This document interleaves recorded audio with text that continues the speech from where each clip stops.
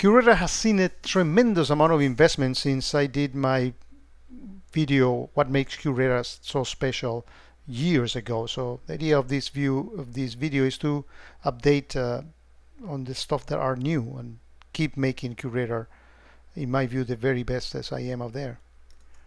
Some things remain the same, like uh, when you install QRadar for the first time, physically or virtually, uh, you actually uh, all you need to do is go into the network hierarchy and define what's your local network uh, what's on your DMZ so QRadar can know what's in and what's out.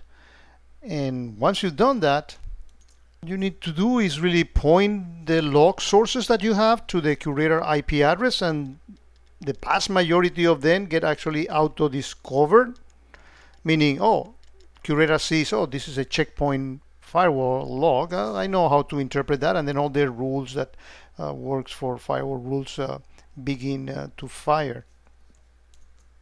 Examples where you need to actually define your logs is, for example, logs in the cloud, like Office 365. Well, you need to provide a token, and this is a pool that, that you do every five minutes or so from the cloud to get the logs. But uh, in almost every case, logs are auto-discovered, so there's no effort uh, to do that. Same thing with the flows. You just start sending the flows uh, uh, to QRadar, and once you've done that, a very powerful set of rules, and that to me is the, the main value in QRadar. These rules keep getting updated. You can see the gazillion number of rules that are in the product, and those uh, rules begin to work for you uh, and begin to generate offenses. An offense is a thing that calls your attention. You need to re-image that box. You need to call HR about this uh, this particular individual.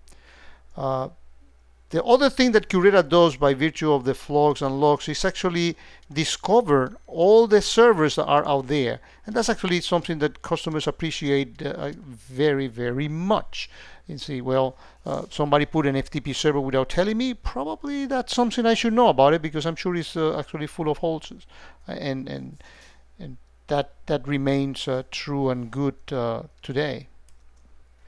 You can complement that server discovery capability by virtue of the logs and flows with uh, sending optionally network scanner data, and that helps on on QRadar to know more details about everything that's out there. All that remains good and true, but one thing that QRadar added recently is the capability of not just doing logs and flows, but also on the payload. There's a new component, relatively new component called QNI, that basically extracts uh, more than 40 fields from the payload. This is not log and flows again. This is inspecting the payload, like DNS query uh, response fields. Somebody's doing command and control by putting stuff on the text fields there.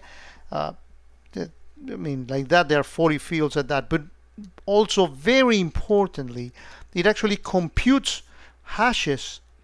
And you see a lot of uh, talk about hashes on the new things on QRadar of every file that come across the network. Uh, on your network every file I compute the hash and hashes are very good because they they eliminate the false positive and they allows you to detect malicious artifacts out there the minute they traverse uh, your network to keep this video relatively short I'm putting links to uh, to uh, detailed videos that show these capabilities so for a detailed video of QNI in the video description there's a link to it one of the things that QRadar has kept on enhancing is the, its API. Everything on the product is exposed with the right uh, access right uh, in and out on the product. You can write into the asset database of QRadar. Uh, you can read data, offenses, uh, everything that is in the product that you do from the GUI, you can do from the API. And that has really promoted uh, a tremendous success of what is called the QRadar App Exchange. This app exchange is uh, a collection of free apps. The only one that is an exception is the Watson. We will talk about that later.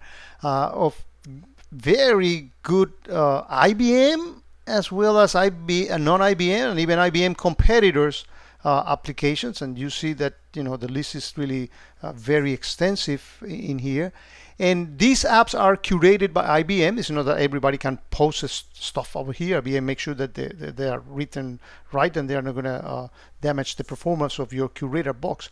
But uh, it really generates a tremendous amount of uh, interaction with other products and not only with other products but also in terms of new rules if you want to have uh, sophisticated rules that we don't want to you know load the, the products with all those uh, for example, if you have some Palo Alto and you want to have some rules coming there, you still be also with these packages, you, you, can get sophisticated rules ready for you to use. So it's very rare now these days that you will be actually writing rules in QRadar. You most likely will be modifying existing one.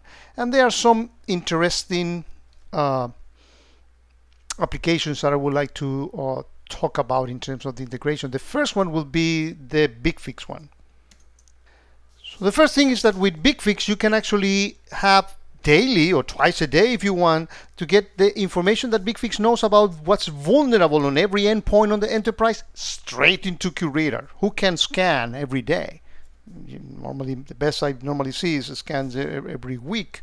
Uh, but with BigFix, again, you get all what is always vulnerability data up to the minute that you that that that that uh, the scan results are produced you get them into QRadar and you can actually from this with this integration you can right click on an IP address and go and real real time figure out what is actually vulnerable out there. So you you also get a, a full visibility into what's in that particular endpoint so you're investigating an offense on a particular endpoint so you, can see everything that's that's in there. You can see not only memory and type of CPU and what's vulnerable there, but what software have, was installed in the last 30 days. That might be important when you are doing an investigation.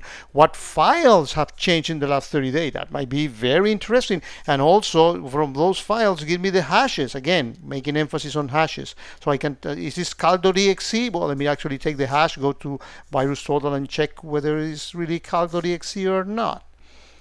Uh, so you also have the capability of doing automated automated uh, remediation. You, for example, can see or detect that uh, a particular endpoint is misbehaving. You can actually ask BigFix automatically from an offense that's what is called custom action. That's a new thing in QRadar to actually, for example, quarantine that particular endpoint or stop a ransomware uh, when you detect that it's doing too many file updates in a short period of time in order to save parts of the data. I mean, the, the sky's the limit. And again, there's a link to a video that shows this in more detail in the video description. Another remarkable package is the Sysmon one, in which allows you to add, this is a free uh, not only a free package, but also the Sysmon is a free capability from Windows that you can actually add to the Windows logs very sophisticated inside uh, information about the processes that they get created, the parents, where is this launch, uh, but also hashes of every every uh, process of there. So you can with this and, and, and this packaging QRadar, you can detect sophisticated and obfuscated malware attacks that, for example, uses PowerShell with base64 encoding and, and, and concatenations and escape characters and all the tricks that hackers use to hide their, their attacks. Well, if you deploy the Sysmon app, those things will not be hidden anymore. Another example is the UBA app. With the UBA app, what you get is uh, very detailed analysis on the risk being carried by every one of your internal users. And it uses a, a, a, connection to your LDAP to actually extract all the user IDs for every individual so the, the risk is actually added. Has a, a sophisticated machine learning algorithm that actually allows you to create the baseline of what's normal out there and when people begin to deviate what they normally do and that can reflect either somebody going bad or it may reflect uh, some APT that has compromised a valid credential. Great tool that is included, not only included in free QRadar, but also works within the same product. So it's not like other things out there that you need to take data out from your SIEM, process them, and then analyze it. No, all this happens inside, and every offense can actually make that make it uh, to be contribute to the risk score of the particular individual. Great, uh, uh, great uh, application. But the UBA will give you a lot of detail about the inside. Watson is mostly all about the outside.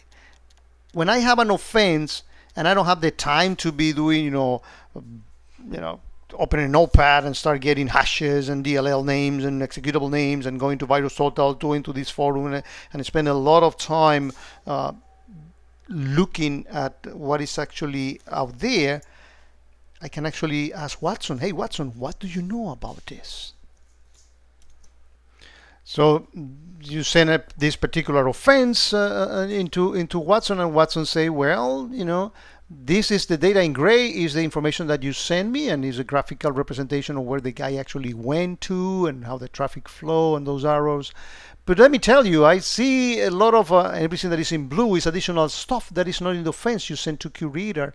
And I see a lot of additional information that you may want to actually check for, uh, check uh, that information in your in your current traffic because it might reflect that somebody else is falling a victim of that. And, and for example, it, it can highlight the fact that, hey, Watson think that is the CozyDuke behind this type of attack. Or why do you think about that, Watson?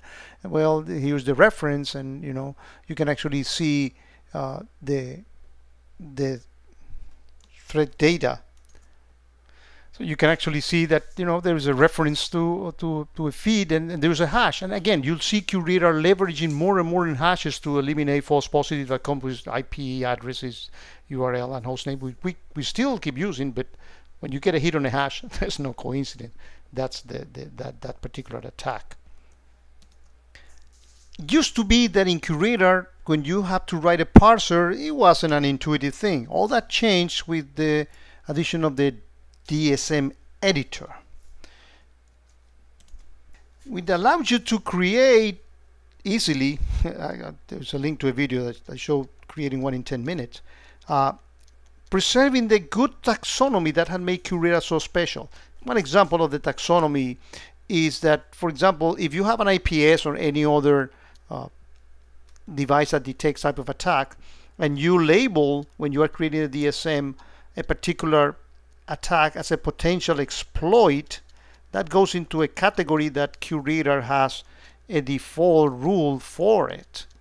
And also, if QRadar is fed with scanner data that tells you what's vulnerable there, QRadar connects the dots with that default rule and say, well, that particular host is vulnerable to that particular type of attack, and you get an offense firing that indicate a potential exploit. Uh, that, that's actually very, very powerful because if you have left a particular vulnerability out because you couldn't patch it, because it breaks some stuff, well, at least you want to monitor it very closely and QRadar does that out of the box. Again, now you can create those uh, beautiful custom build DSM that will respect the taxonomy and will leverage on all the good rules that QRadar has. QRadar can be installed as an all-in-one appliance or a distributed architecture in which you have a console and then you have event processor and event collectors and and you can grow geographically or, or as your needs uh, increases on the traffic you can actually add more boxes. All these boxes are the same boxes uh, basically and you can just repurpose them by uh, adding uh, uh, the license for uh, for a particular box. So they say that you have your all-on-one. Well, now that will be only a console, and then the additional boxes uh, get uh, uh, deployed geographically. And uh, again, by specifying the license, you tell the box how is it going to behave. But we also to this nice uh, uh, distributed ar ar architecture. Th th there was a, a, an important addition it used to be that in the past, when you were performing a search, the search needs to get data, and basically the bulk of the search gets actually executed on the event processor. But the event processor is actually made main purpose in life is actually to, to process events. So he gave priority to that. So it used to be that maybe the searches were not as fast as they could possibly uh, could have been. Well and for that QRadar added the data node which is basically a full processor with some storage capability as well to add all CPU and memory just to perform the searches. Now searches in QRadar has nothing to envy to any other uh, SIEM out there. Uh, in fact, it exceeds most of them. But uh, not only that, but also uh, one more box that was added is actually the app node. Applications like UBA uh, they, they take a lot of memories, particularly if you have a lot of users to keep track of the machine learning, what is it that every user is doing. Well, now you can actually run those on the app node. And the advantage of this type of nodes is that they don't require any license. I mean, they can be physical appliance or virtual appliance, whatever you want to have them, and they just add to your uh, Uh, specialized performance for your specific application.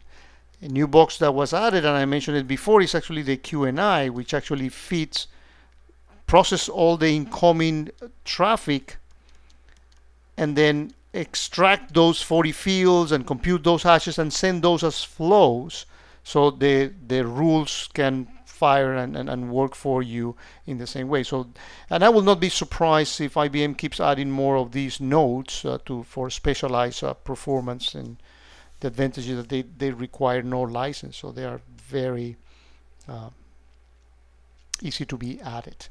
Now, in terms of training, how do I get enabled for QRadar? A couple of additions that are being added to the to the roster. The first is that there is a free training in QRadar uh, for the for the uh, Security Academy that actually you can even launch virtual uh, QRadar boxes that you use to run the course. Very, very, very good capability.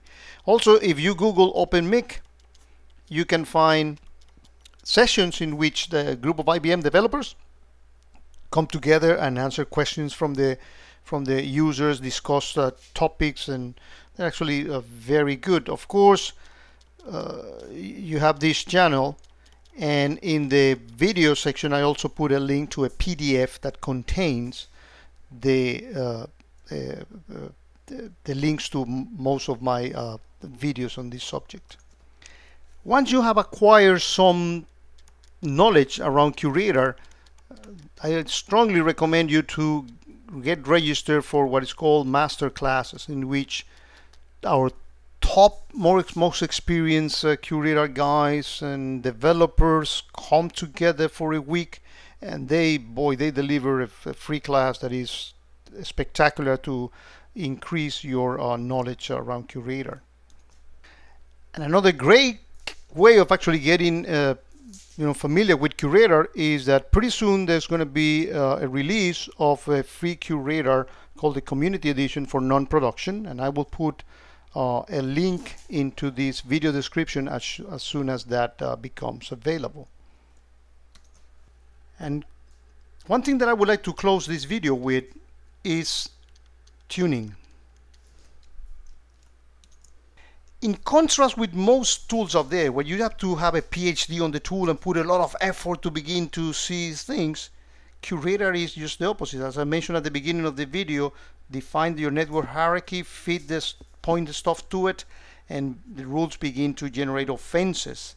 Uh, and those offenses need to be tuned, especially with the network hierarchy, and, and you need to you know tweak some parameters in here because QRadar is just the opposite of those tools that you need to put a lot of work in it. It's actually deliver a lot of value for you, but you need to tune and see what is actually relevant to your environment or not.